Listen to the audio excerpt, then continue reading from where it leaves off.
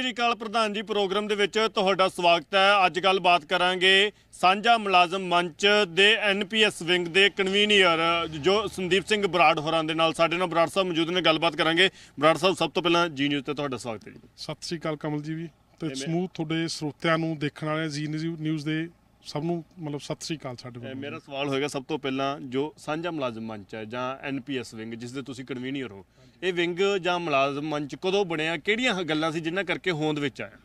ਇਹ ਜੇ ਸਾਂਝਾ ਮੁਲਾਜ਼ਮ ਮੰਚ ਸ਼ੁਰੂਆਤ ਤਾਂ 2016 ਚ ਹੋਈ ਸੀ ਜੀ। 2017 ਦੇ ਵਿੱਚ ਇਹ ਐਕਟਿਵ ਹੋਇਆ ਸੀ। 2017 ਤੋਂ ਹੀ ਜਦੋਂ ਮੰਚ ਬਣਿਆਗਾ ਉਦੋਂ ਤੋਂ ਬਤੌਰ ਅਸੀਂ ਇੱਕ ਸੇਵਾਦਾਰ ਦੇ ਤੌਰ ਤੇ ਸੇਵਾ ਕਰਦੇ ਆ ਰਹੇ ਸੀ ਕਿਉਂਕਿ ਸਾਡੀ ਲੀਡਰਸ਼ਿਪ ਬਹੁਤ ਵਧੀਆ ਸੀ ਉਸ ਸਮੇਂ। ਸਾਡਾ ਜਿਹੜਾ ਨਿਧੜਕ ਆਗੂ ਹੈਗਾ ਸੁਖਚੈਨ ਖਹਿਰਾ, ਉਹਦੀ ਪ੍ਰਧਾਨਗੀ ਦੇ ਵਿੱਚ ਹੋਰ ਸਾਡੇ ਬਹੁਤ ਆਗੂ ਬੜੇ ਲੀਡਰ ਸਾਹਿਬਾਨ ਬਹੁਤ ਵਧੀਆ ਸੀਗੇ, ਜਿਨ੍ਹਾਂ ਤੇ ਸਾਨੂੰ ਪੂਰਾ, ਸਮੂਹ ਮਤਲਬ ਉਹਨਾਂ ਦੇ ਹਰੇਕ ਐਕਸ਼ਨ ਤੇ ਭਰੋਸਾ ਹੁੰਦਾ ਸੀ ਸਾਨੂੰ। ਉਹ ਹੋਇਆ ਕਿ ਅਚਾਨਕ ਇੱਕੋ ਦਮ ਕੁਝ ਬੰਦੇ ਸਾਡੇ ਨੌਕਰੀ ਛੱਡ ਗਏ ਜੀ। ਕੁਝ ਆਪਦੇ ਕੰਮ ਕਰ ਕਰਕੇ ਰਿਟਾਇਰਮੈਂਟ ਤੋਂ ਬਾਅਦ ਮੌਜੂਦਾ ਆਮ ਆਦਮੀ ਪਾਰਟੀ ਜੁਆਇਨ ਕਰ ਲਈ। ਉਹਨਾਂ ਨੇ ਸਾਡੀਆਂ ਮੰਗਾਂ ਤੇ ਸਾਡੇ ਹੋਰ ਹੱਕਾਂ ਨੂੰ, ਦੀ ਧਿਆਨ ਰੱਖਣ ਦੀ ਬਜਾਏ ਉਲਟਾ ਐਜ਼ ਏ ਪਾਰਟੀ ਵਰਕਰ ਕੰਮ ਸ਼ੁਰੂ ਕਰਤਾ। ਤੇ ਉਸ ਸਮੇਂ ਫਿਰ ਮਹਿਸੂਸ ਹੋਇਆ ਵੀ ਭਾਈ ਹੁਣ ਆਪ ਦੇ ਲਈ ਆਪ ਹੀ ਲੜਨਾ ਪਊਗਾ। ਤੇ ਬਾਕੀ ਮੌਜੂਦਾ ਸਰਕਾਰ ਤੇ ਸਾਨੂੰ ਬਹੁਤ ਉਮੀਦ ਸੀਗੀ ਵੀ ਆਉਂਦੇ ਸਾਰੀ ਪਤਾ ਨਹੀਂ ਸਾਡੇ ਕੀ ਕੁਝ ਕਰ ਦੂਗੀ ਸਾਡੀ ਮਤਲਬ ਦੂਸਰੀਆਂ ਜਿਹੜੀਆਂ ਮਤਲਬ ਪੁਰਾਣੀਆਂ ਸਰਕਾਰਾਂ ਵੱਲੋਂ ਸਾਨੂੰ ਲਾਰੇ 'ਚ ਰੱਖਿਆ ਗਿਆ ਸੀ ਸਾਡਾ ਬਹੁਤ ਸੀਗੀਆਂ ਤਾਂ ਕਰਕੇ ਕਹਿ ਸਕਦੇ ਜਿਹੜੇ ਅਗਲੇ ਆਗੂ ਗਏ ਚਲੇ ਉਹਨਾਂ ਦੀ ਥਾਂ ਤੇ ਤੁਹਾਨੂੰ ਆਉਣਾ ਪਿਆ। ਹਾਂਜੀ ਹਾਂਜੀ। ਹੁਣ 2022 ਜੋ ਸ਼ੁਰੂ ਹੋ ਗਿਆਗਾ ਸਾਡੀ ਮੇਨ ਐਨਪੀਐਸ ਦਾ ਪੁਰਾਣੀ ਪੈਨਸ਼ਨ ਦੇ ਸੰਬੰਧੀ ਚੱਲ ਰਿਹਾਗਾ। ਹੁਣ ਮੈਨੂੰ ਮੈਂ 2022 ਦੇ ਵਿੱਚ ਬਤੌਰ ਕਨਵੀਨਰ ਐਨਪੀਐਸ ਵਿੰਗ ਸਾਂਝਾ ਮੁਲਾਜ਼ਮ ਮੰਚ ਕੰਮ ਸ਼ੁਰੂ ਕੀਤਾ ਹੈਗਾ। ਬਰਾੜ ਸਾਹਿਬ ਜੇ ਮੰਗਾਂ ਦੀ ਗੱਲ ਕੀਤੀ ਜਾਵੇ ਮੰਗਾਂ ਜਿਹੜੀਆਂ ਸੀਗੀਆਂ ਅਤੇ ਉਹਨਾਂ ਦੇ ਲਈ ਸੰਘਰਸ਼ ਲਗਾਤਾਰ ਜਾਰੀ ਸੀਗਾ ਅਤੇ ਸੰਘਰਸ਼ ਹੁਣ ਤੱਕ ਦਾ ਸੰਘਰਸ਼ ਕਿਵੇਂ ਦਾ ਰਿਹਾ? ਦੇਖੋ ਜੀ ਜਦੋਂ ਇਹ ਅਸੀਂ 2017 ਚ ਸ਼ੁਰੂ ਕੀਤਾਗਾ ਕੰਮ ਉਦੋਂ ਸਾਡਾ ਮੇਨ ਮੁੱਦਾ ਸੀਗਾ ਪੇ ਕਮਿਸ਼ਨ ਦਾ। ਪੇ ਕਮਿਸ਼ਨ ਲਈ ਲੜੇ ਅਸੀਂ। ਪੁਰਾਣਾ ਸਾਡਾ ਡੀਏ ਜਿਹੜਾ ਡੀਲ ਲਿੰਕ ਕੀਤਾ ਹੁੰਦਾ ਸੀ ਡੀਏ ਦੇ ਏਰੀਆ ਸੰਬੰਧੀ ਉਹ ਚਲੋ ਅਸੀਂ ਕਰਦੇ ਰਹੇ। ਅਖੀਰ ਦੇ ਉੱਤੇ ਆ ਕੇ 2019 ਦੇ ਵਿੱਚ ਕੁਝ ਨਾ ਕੁਝ ਅਸੀਂ ਪ੍ਰਾਪਤ ਕਰ ਲਿਆਗਾ ਪਰ ਸਾਡੀ ਪੈਨਸ਼ਨ ਤੇ ਹੋਰ ਕੁਝ ਮੰਗਾਂ ਸਾਡੀਆਂ ਜਿਹੜੀਆਂ ਅਹਿਮ ਮੰਗਾਂ ਮੰਗਾਂ ਸਾਰੀਆਂ ਹੀ ਅਹਿਮ ਨੇ। ਚਲੋ ਕੋਈ ਇੱਕ ਸਮੇਂ ਮੁਤਾਬਕ ਹੁੰਦਾ ਵੀ ਚਲ ਪਹਿਲਾਂ ਹੋ ਜੇ ਕੋਈ ਬਾਅਦ ਚ ਹੋ ਜੇ ਇਸ ਮੰਗਾਂ ਸਾਰੀਆਂ ਹੀ ਨੇ। ਉਹ ਸਿਰਫ ਇੱਕ ਕੁਝ ਮੰਗਾਂ ਨੂੰ ਛੱਡ ਕੇ ਬਾਕੀ ਮੰਗਾਂ ਸਾਡੀਆਂ ਉਵੇਂ ਦੀਆਂ ਉਵੇਂ ਹੀ ਖੜੀਆਂ ਸੀਗੀਆਂ। ਹੁਣ ਉਹ ਜਿਵੇਂ ਸਾਨੂੰ ਸਰਕਾਰ ਤੋਂ ਬਹੁਤ ਉਮੀਦ ਸੀਗੀ ਵੀ ਭਾਈ ਇਹ ਜਿਵੇਂ ਇਹਨਾਂ ਨੇ ਕਿਹਾ ਹੋਇਆ ਸੀ ਵੀ ਜਿਸ ਤਰ੍ਹਾਂ ਇਹਨਾਂ ਦੇ ਮਤਲਬ ਮੰਤਰੀ ਸਾਹਿਬਾਨ ਹੈਗੇ ਨੇ ਇੱਥੋਂ ਦੇ ਖਰੜ ਤੋਂ ਜਿਹੜੇ ਉਹ ਕਹਿੰਦੇ ਸੀ ਜੀ 5 ਮਿੰਟਾਂ 'ਚ ਕੰਮ ਕਰ ਦਿਆਂਗੇ। ਸਾਨੂੰ ਵੀ ਉਵੇਂ ਸੀ ਸਾਨੂੰ ਜਿਸ ਤਰੀਕੇ ਇਹਨਾਂ ਨੇ ਮਤਲਬ ਆਸਵਾਸ਼ਨ ਦਿੱਤੇ ਸੀ ਵੀ ਉਮੀਦਾਂ ਇਹੀ ਸੀ ਵੀ ਜਿਵੇਂ ਕਹਿੰਦੇ ਸੀਗੇ ਉਸੇ ਹਿਸਾਬ ਨਾਲ ਅਸੀਂ ਸਾਰਿਆਂ ਨੇ ਆਪਦਾ ਬਦਲਾਵ ਦੀ ਮਤਲਬ ਲਿਆਂਦੇ।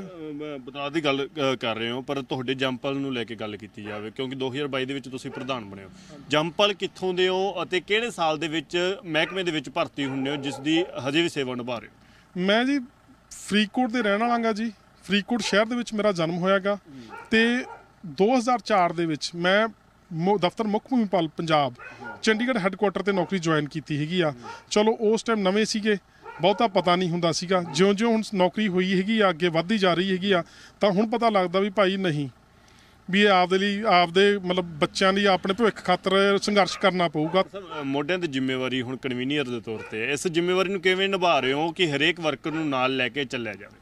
ਦੇਖੋ ਜੀ ਜ਼ਿੰਮੇਵਾਰੀ ਤਾਂ ਬਹੁਤ ਵੱਡੀ ਹੈਗੀ ਆ ਪਰ ਇੱਕ ਸਾਡੇ ਭਰਾ ਦਾ ਸਾਥ ਵੱਡਿਆਂ ਦਾ ਹੈਗਾ ਹੋਰ ਸਾਡੇ ਮਤਲਬ ਮੁਲਾਜ਼ਮ ਆਗੂ ਜਿਹੜੇ ਪਹਿਲਾਂ ਵੀ ਖੜੇ ਸੀ ਜਿਵੇਂ ਬਾਈ ਜਸਵਿੰਦਰ ਹੈਗੇ ਨੇ ਦਵਿੰਦਰ ਬੈਣੀਪਾਲ ਹੈਗੇ ਮੈਡਮ ਕਮਲ ਹੈਗੇ ਨੇ ਸੁਖਚੈਨ ਸਿੰਘ ਹੈਗੇ ਟਰਾਂਸਪੋਰਟ ਤੋਂ ਉਹਨਾਂ ਦੇ ਸਾਥ ਨਾਲ ਉਹਨਾਂ ਦੇ ਤਜਰਬੇ ਨਾਲ ਹੁਣ ਕਰਾਂਗੇ ਆ, ਮੋਢਿਆਂ ਤੇ ਜ਼ਿੰਮੇਵਾਰੀ ਪਾਈ ਆ ਤੇ ਨਿਭਾਵਾਂਗੇ ਜੀ। ਮੇਰਾ ਆਖਰੀ ਸਵਾਲ ਹੋਏਗਾ ਪਹਿਲਾਂ ਕਦੇ ਸੋਚਿਆ ਸੀਗਾ ਕਿ ਇਹ ਵਰਕਰ ਦੇ ਤੌਰ ਤੇ ਕੰਮ ਕਰਨਾ ਜਾਂ ਜਾ ਕੇ ਹੱਕਾਂ ਦੇ ਲਈ ਕਨਵੀਨੀਅਰ ਵੀ ਅਗਵਾਈ ਵੀ ਕਰਨੀ ਪਵੇਗੀ ਵੱਡੇ ਵੱਡੇ ਮੰਚਾਂ ਦੀ ਅਗਵਾਈ ਕਰਨੀ ਪਵੇਗੀ? ਇਹ ਬਿਲਕੁਲ ਹੀ ਨਹੀਂ ਸੋਚਿਆ ਸੀਗਾ ਜੀ ਕਿਉਂਕਿ ਸਾਡੀ ਜਿਹੜੀ ਪੁਰਾਣੀ ਲੀਡਰਸ਼ਿਪ ਸੀਗੀ ਨਾ ਮਤਲਬ ਬਾਕੀ ਦੇ ਲੀਡਰ ਸਾਹਿਬਾਨ ਉਹਨਾਂ ਤੇ ਸਾਨੂੰ ਭਰੋਸਾ ਬਹੁਤ ਸੀ ਵੀ ਸਾਨੂੰ ਐ ਵਿਚਕਾਰ ਛੱਡ ਕੇ ਭੱਜਣਗੇ ਨਹੀਂਗੇ। ਕਦੇ ਸੋਚਿਆ ਹੀ ਨਹੀਂ ਸੀ ਕਦੇ ਮਨ ਚ ਲਾਲਚ ਵੀ ਨਹੀਂ ਕਿ ਕੋਈ ਅਹੁਦਿਆਂ ਦੀ ਲਾਲਚ ਵੀ ਨਹੀਂ ਕੀਤੀ ਸੀਗੀ। ਤੇ ਚਲੋ ਹੁਣ ਜ਼ਿੰਮੇਵਾਰੀ ਪਈ ਆ ਨਿਭਾਵਾਂਗੇ ਕੋਸ਼ਿਸ਼ ਕਰਾਂਗੇ। ਗੱਲ ਕੀਤੀ ਜਾਵੇ ਕਿੰਨੇ ਮੁਲਾਜ਼ਮ ਐਨਪੀਐਸ ਜਾਂ ਸਾਂਝਾ ਮੁਲਾਜ਼ਮ ਮੰਚ ਨਾਲ ਜੁੜੇ ਹੋਏ? ਬਾਈ ਜੀ ਸਾਂਝਾ ਮੁਲਾਜ਼ਮ ਮੰਚ ਨਾਲ ਸਾਰੇ ਹੀ ਜੁੜੇ ਹੋਏ ਨੇ।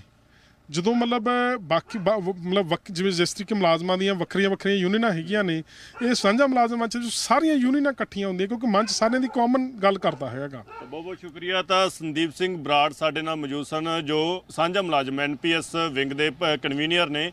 ਅਤੇ 2022 ਤੋਂ ਕਨਵੀਨੀਅਰ ਬਣੇ ਨੇ, ਜ਼ਿੰਮੇਵਾਰੀ ਨੂੰ ਨਿਭਾ ਰਹੇ ਨੇ। ਹਾਲਾਂਕਿ ਪਹਿਲਾਂ ਕਦੇ ਸੋਚਿਆ ਨਹੀਂ ਸੀਗਾ ਕਿ ਅਗਵਾਈ ਵੀ ਕਰਨੀ ਪਵੇਗੀ, ਕਿਉਂਕਿ ਵਰਕਰ ਦੇ ਤੌਰ ਤੇ ਹਮੇਸ਼ਾ ਲੜਾਈ ਲੜਦੇ ਆ ਰਹੇ ਨੇ। ਪਰ ਹੱਕਾਂ ਦੇ ਲਈ ਉਹ ਕਹਿੰਦੇ ਕਿ ਹੁਣ ਅੱਗੇ ਆਉਣਾ ਪਵੇਗਾ। ਉਸੇ ਤਹਿਤ ਜਿਹੜੇ ਕਨਵੀਨੀਅਰ ਬਣਾਏ ਗਏ ਨੇ। ਕੈਮਰਾ ਪਰਸਨ ਗੁਰਜੰਟ ਸਿੰਘ ਦੇ ਨਾਲ ਕਮਲਦੀਪ ਜੀ, ਮੀਡੀਆ, ਮੋਹਾਲੀ।